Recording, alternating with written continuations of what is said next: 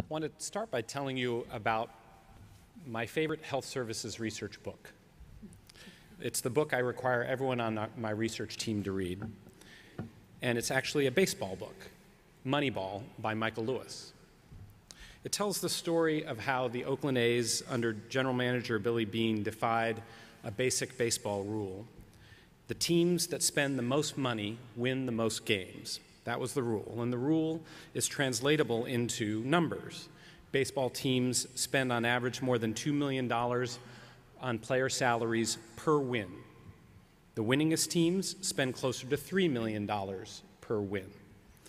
The Oakland A's, however, were the exception, making the playoffs nearly every year through 2002 with one of the lowest payrolls in the sport. They spent less than $500,000 per win. Dollar for dollar, they were the most effective team in baseball by a huge distance. And the question that Michael Lewis asked was, how? And the answer was, Billy Beane, the general manager, believed in research. You have to understand how radical this was. Sports teams are traditionally believed to succeed through talent and experience, not science, and baseball was no exception. Great managers believed that the key decisions, such as which players to draft, which pitcher to send in, whether to tell a player to try and steal second base, should be determined by experience and instinct, not data. But Billy Beane put Harvard kids with laptops, geeks, in his scouting meetings anyway and watched them all but come to, to blows with the grizzled veterans scouts over which players were the right ones to pick. To the veterans, the decisions were no brainers. Do you take an 18 year old high school phenom with rocket speed and a swing that could send homers so far it would make grandmothers cry? Or the fat college kid who couldn't run, throw, or field, but according to the data, the geeks were pushing, racked up more walks than the other college kids. Billy Beane did the strange thing and decided the geeks should win. He believed they were generating new knowledge, and he built year after year of success capitalizing on that knowledge.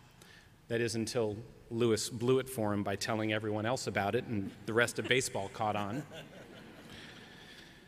So, by the way, that fat kid that the scouts didn't want to look at that Lewis wrote about in 2002, that was Kevin Youkilis, who's now a two time World Series winner for the Red Sox and one of the top hitters in baseball. If we were in charge, we'd call what Billy Beane introduced baseball services research. you know, because that just sounds so sexy. Lewis called it Moneyball. The statistician Bill James called it sabermetrics. Billy Beane just called it stats. Whatever you call it, though, he took a field of human endeavor thought to be far too complex to understand or to master through anything but instinct and experience and demonstrated that actions and decisions based on intelligent ana analysis of detailed data could be significantly better. They were by no means always right, but they were right more often. And the result was a team that played better and won far more often than its payroll suggested it had any right to. This was a shift in thinking for baseball that is, I believe, exactly like the one we're experiencing in medicine and in public health.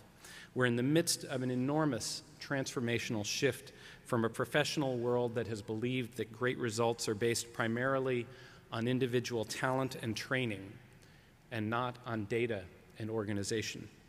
The key decisions, such as what steps to follow in a difficult operation, how to manage a pneumonia, whether someone should undergo a CT scan, are made first and foremost on the basis of individual experience.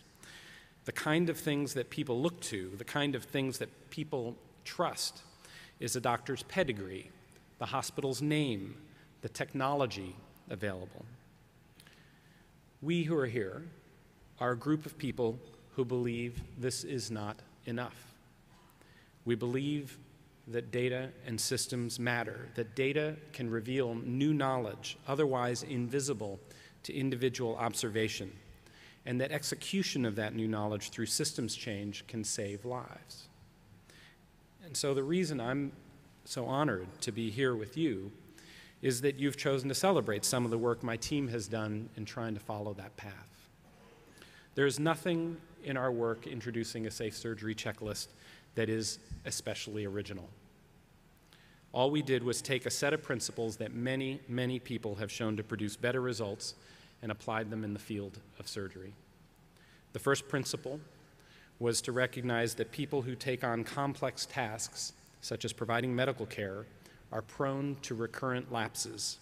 They have lapses of memory, lapses from weighing recent vivid experiences too much, lapses from being unable to see the cumulative pattern of low level errors. They have limits to their success because individual effort, although critical, is not sufficient. The second principle was that practices guiding by, guided by looking at the patterns of lapses, by looking at data, are likely to have better results. My team also had some specific models to follow. Don Berwick's Institute for Healthcare Improvement's use of bundles and checklists to reduce medication errors and ventilator associated pneumonias. Peter Pronovost and the Michigan Hospital Association's use of a checklist to reduce catheter related bloodstream infections. And so, under the project, a project with the World Health Organization, we took a close look at the data on the dominant patterns of lethal surgical complications and the practices that seemed most likely to avert them. The data we have on clinical medicine are still embarrassingly primitive and spotty. But like Billy Beane, we stuck to the principles. We gambled on the laptop kids and what, the, what their data suggested. We distilled the practices identified into a kind of pilot's checklist for the operating room, worked on it to make it actually usable in the moment of care with three pause points and 19 items that teams could check in under 90 seconds to make sure they had completed. These were mundane but periodically overlooked critical steps, such as making sure an antibiotic was given before incision and that the team confirms it has the right blood and fluids and IV access for the operation. And there were some interesting, under recognized steps that seemed important to ensure teamwork, such as making sure everyone in the room has been introduced by name and that the nurse and anesthesiologist have no questions or concerns before the surgeon puts the knife to the skin. We then implemented the ch checklist in eight hospitals around the world. Top hospitals in high income settings, ranging from Seattle and London to Auckland and Toronto, and hospitals in Jordan, rural Tanzania, Manila, and Delhi with far less resources. It was a gamble. The surgical teams, especially my surgical colleagues, often viewed the whole thing as a waste of time. Many believed a checklist process might even be harmful by diverting attention from usual practices based on experience. But Moneyball was right. In every hospital, use of the checklist and our program to introduce it produced a reduction in complications. The average reduction was 36%.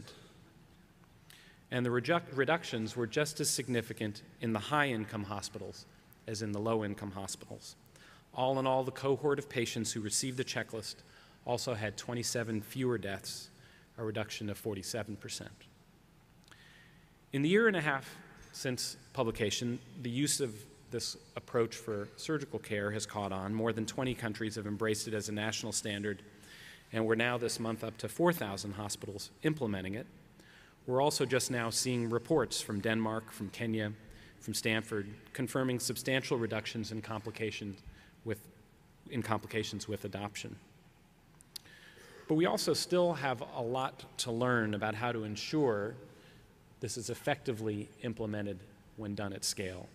The practices of effective leadership for clinical and public health change need to be no less data driven. But the more profound and substantial difficulty is achieving the cultural change that this type of work requires. Moneyball research, that is, research using the statistical patterns of healthcare and the healthcare system to guide how medicine should be practiced day to day, is still in its much disputed infancy. there remains tremendous doubt among people in medicine and the public at large that this kind of enterprise, the kind of work we all do, will yield genuinely better results for the safety, quality, or cost of healthcare. Some of that doubt, to be sure, is not misplaced. Success is not a given. The patterns that the laptop kids try to discern in human affairs are only going to be seen dimly. There will be mistakes and misinterpretations. There will be overreading of the data and our own kind of wishful thinking. But our bet is that efforts to look for patterns and modify practices to follow them are going to be more successful on average than efforts to ignore the patterns. The scientific improvement of healthcare and health systems has long roots. More than a century ago, doctors such as William Osler first emphasized the careful recording of the pattern of symptoms that patients had, and then when they died, correlation between the recorded symptoms and what was found inside them at autopsy. Osler encouraged the study of probabilities to unlock the secrets in these patterns, and he founded the modern residency system at Johns Hopkins to wean young doctors away from the lore taught in apprenticeships and drive them to practice more scientifically. Medicine is a science of uncertainty and an art of probability, he used to say. We have come fascinatingly far following science and the probabilities since then. They've shown us the basic properties of thousands of diseases and provided an arsenal of more than 6,000 drugs and 4,000 medical and surgical procedures. But we've been slow to accept the idea that the effective deployment of this arsenal might require science, might require design according to the patterns and probabilities. This has long been regarded as purely a matter for the art of medicine, and that has proved to be a colossal mistake. The old views, however, are beginning to change. Our infant science of statistical medicine feels to me like how I imagine the infant science of biomedicine felt in 1940. The scientists had an approach that was to prove to be of enormous value to society. They were on the cusp of discovering antibiotics and vaccines and such basics as the proper composition of intravenous fluids. But despite the prospects, funding was meager and skepticism ran high, not least among the doctors and other healthcare professionals themselves. That changed with results. And that's the challenge we all now face in this field. We've spent two decades or more chronicling the patterns, recording the symptoms and pathologies of our systems of healthcare delivery. We've discovered the social disparities. We've discovered the risk factors for errors, the sources of imperiling waste of resources. But these discoveries mean little until we use the information to make change, until we use the science to discover and prove over and over again that we can help, that we can make healthcare better with higher quality, less harm, lower cost, better health. This requires a daunting shift in thinking. We in this field have been mostly diagnosticians to this point. It is time now to test solutions. And by the way, it is time to test solutions not just in America or even in the West, the science of health systems, the kids with the laptops looking for patterns, can make the delivery of healthcare and public health everywhere better. It can help the poorest to the richest. It can save the life of a patient in rural Tanzania, no less than here in Boston. So here's to you kids with the laptops. No personalized identifiers on there. Thank you for this year's Impact Award.